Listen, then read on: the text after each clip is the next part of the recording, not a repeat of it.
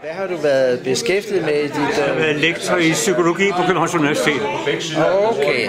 og øh, undervist gennem 30 år. Øh, skrevet om ind og ud af personlighedspsykologiske teorier, prøvet for at gjort op med alle de forskellige personlighedspsykologiske teorier. Der. Og så har jeg undervist i, øh, man kalder det, kvalitative forskningsmetoder. Det vil sige forskningsmetoder, som ikke kun går ud på at regne i, i tal, men at samle kvaliteter ved noget. Og det er der i den undervisning, at jeg startede med det her, ikke? og sammen med nogle studerende øh, startede det her op, og det her startede vi jo langt tilbage i 1990'erne. Det vil sige, at øh, bogstaverne er, i forhold til den teknologi, vi har, ikke? der er bogstaverne alt for snævert udsnit af, hvad vi kan gøre i tekstlinjer. For i tekstlinjer kan vi også bruge billeder. Man har hængt så meget i, i sådan nogle, nogle øh, piktogrammer, som var alt muligt andet, altså som David, som var målt op i bits på kryds og tværs. Jeg kan ikke huske, hvad det hedder. Sportivbilleder, hvad det hedder. Fidusen er her, at jeg har lavet dem som skrifttegn. Og det vil sige, at jeg har i det her tilfælde 12 skrifter, og der er plads til et, i hvert fald et par tusind flere tegn alene i de 12 skrifter der, ikke? Fidusen ved det alfabet, som kan, kan udvikles internationalt, det er, at det jo går på kropstypikaliteter, som er ens hos kinesere og japanere og ændre og ligegyldigt hvilken religion de har. Det vil sige, at man får et internationalt sprog, som både en kineser og en dansker umiddelbart kan forstå, Kan på læse, grund af, på grund af, af hvad var det, du kaldte dem? Øh, piktogram, hvad var det, du kaldte dem for? Jeg kalder dem glyfer. Så nu, for nu lige at gøre en anden historie. Det med, med kropshusholdningen, ikke? som er global i virkeligheden. Og det næste er hjemmehusholdningen. Jamen hjemmehusholdningen er i virkeligheden også ret global. Folk de er nødt til at lave mad. De er nødt til at rense ud.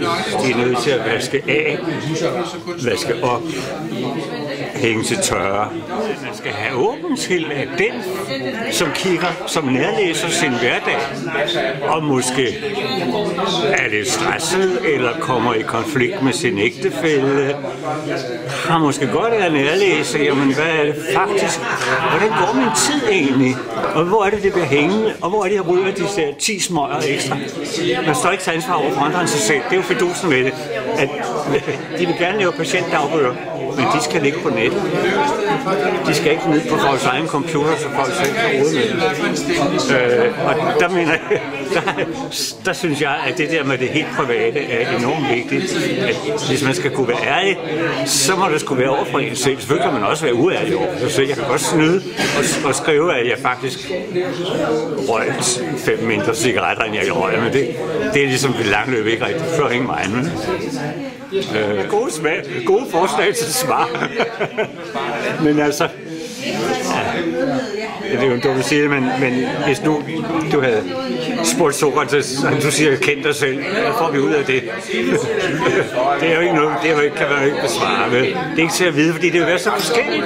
Og nogle folk vil måske blive tvangsneurotisk attached til, at de skal skrive ned alting.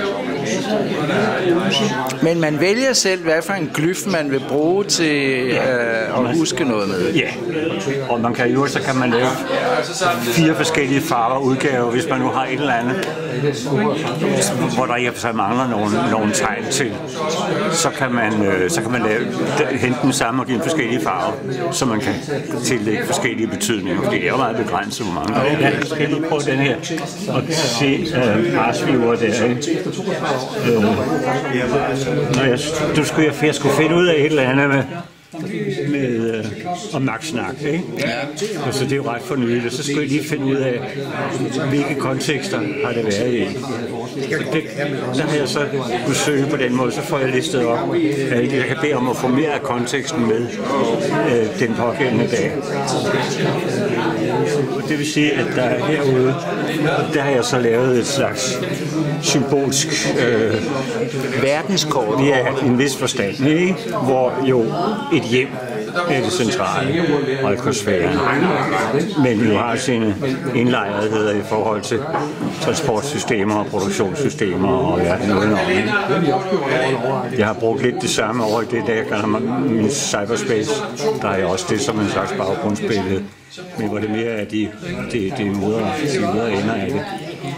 Men det er en af de steder, hvor man kan sige, at hvis man ikke vil have for mange af de glyfknapper på sit hovedvindue, så kan man have dem liggende her et klik væk, Der ligger måske og så bare bruge dem. Ikke? Så man behøver, hvis man kun saver en gang imellem, så behøver man, man nøjes med at have saven liggende her, og så behøver man ikke at have den på sit dagvindue, så kommer den bare ind herovre. Ikke? Så, så det er altså bare et klik væk af de andre. Det er lige vist et andet vindue, som er, som er nok så relevant. Det er det her body her.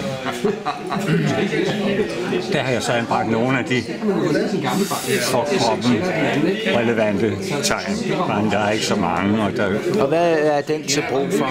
Ja, den er til brug for, at, så, at der kan man altså have, der er forhånd, når du, får øh, prototypen, så har jeg så bare anbragt nogle af dem her her. Øh, Jamen, kan man s- så skrive på dem, eller øh, hvis man nu er ondt et sted? Nej, eller- altså, det er ikke sådan, så tror jeg, så de går, de går bare, skrives bare ind som, som stenografitegn. Ondt i maven. 2031. Så mere, er- mere er der efter så.